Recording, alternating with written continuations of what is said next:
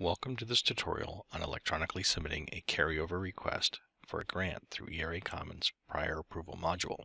A carryover request is a request to carry forward funds from the end of one budget period to a future budget period. A carryover request can only be initiated and submitted by a signing official, SO. Requests through the Prior Approval Module can only be initiated under the following criteria. The grant does not have expanded authority the project period has not ended or a no-cost extension request has been submitted by the institution requesting additional time. The grant is not closed out. The grant has not been closed. As part of the process, several key pieces of information will be required to complete the request. Amount of funds to be carried over, explanation of unobligated balance, detailed budget, Scientific justification. Accessing the functionality starts with logging into ERA Commons. Once logged in, SOs need to navigate to the Prior Approval tab on the top navigation menu.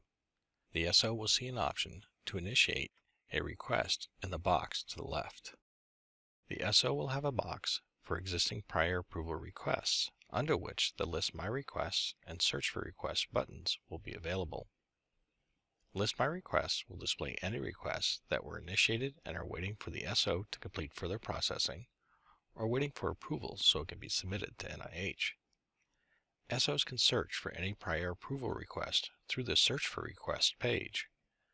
If the request has not been submitted to NIH, they can modify and submit the request, and if the request has already been submitted, they can view the history of the request. They can also view the PDF of the request that was submitted to NIH. To initiate a carryover request, the SO will go to the Initiate a Prior Approval Request box. In the field for request type, they will select Carryover Request, and then click the Go button. The system will generate a list of eligible grants for carryover. The results are displayed in a table showing the grant number, project title, contact PDPI name, and budget period end date. Because SOs manage all the applications and the grants of their institution, they have two text filter fields at the top of the screen they can use to narrow the results even further. Once the grant is found, the SO will click on the radio button to the far left to select the grant. Once that is done, the Initiate Carryover button becomes active. Clicking the button starts the request. This will open the prior approval request carryover form.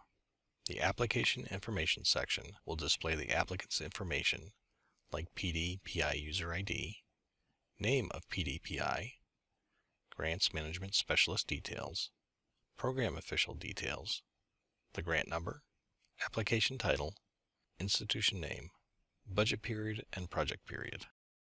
In the request details section, it will display the request ID a system-generated ID number. The SO will also have to specify the amount of unobligated funds that are being requested to carry over to a future budget period in the Amount of Funds to be Carried Over field. The next three fields require the SO to upload the following documents. Explanation of unobligated balance, detailed budget document, and science justification document. The SO can upload only one PDF document for each of the sections. Each document cannot exceed 5 megabytes in size. If you have questions regarding the details of these documents, please contact the awarding IC. To upload a file, click the Upload button and navigate to the desired document and select the document. When the upload is complete, you'll see a green box appear above the Upload button to indicate the successful upload. The name of the file will be displayed below, along with the date it was uploaded. You can review the file by clicking the View button, or remove the file by clicking the Delete button. There are several action buttons at the bottom of the screen. Hitting the Cancel button will bring you back to the prior approval screen, after confirming that you agree to lose any unsaved data. If there's still more work to be done before submitting to the agency, the request can be saved as is by clicking the Save button. You will see a green confirmation message at the top of the screen when the save is complete. The SO can now submit the request to agency by clicking the Submit button. When the Submit button is clicked, a confirmation message will appear. Select Yes to submit the request. Once this is done, the list of applications will appear. A green confirmation note at the top reads Success. Carryover request has been successfully submitted to agency. If the project period end date is less than 90 days, or if the project period end date has passed, users will be asked if they want to submit a no-cost extension request. If the SO wishes to submit one, they will be directed to the NCE page so they can complete and submit the request. From the Search Request screen, the SO can look up the status of the request by searching for the request by using the request ID number or any other of the criteria available. The status of the request will now be submitted to agency. The history of the request can be viewed by clicking on the View History link. When the request is submitted, a PDF document is generated combining all of the information provided by the SO. The PDF can be viewed by clicking the View PDF link. A notification is sent to the SO, GMS, and PO of the grant when the carryover request is submitted to agency. This concludes the tutorial on electronically submitting a carryover request for a grant through ERA Commons. A number of resources are available to you should you need assistance with this process.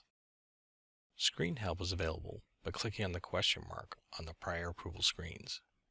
If you still have questions about submitting carryover requests electronically, contact the ERA Service Desk. Thanks for watching.